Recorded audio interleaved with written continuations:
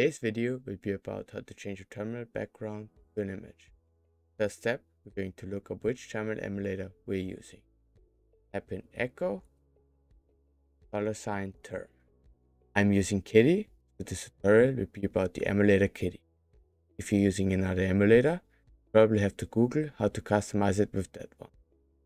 Next step is to download or pick an image you want to use as your background. And remember where you saved it on your PC. I will use an image of a sky for demonstration purposes. I'm going to download it and rename it to sky. Just going to leave it in my downloads folder so I know where it is. Next, I'm going to type in vim tilde slash dot config dash kitty dash kitty dot there you can see the point background underscore image.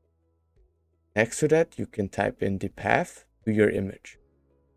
I'm going to press I to edit the file and type in my image. Then I'm going to press escape, colon, WQ to leave and write into this file. Now close the terminal and reopen it and you can see the background image changed. If you like such short tutorials on how to customize your Linux setup, consider subscribing and liking this video and I'll see you in the next one.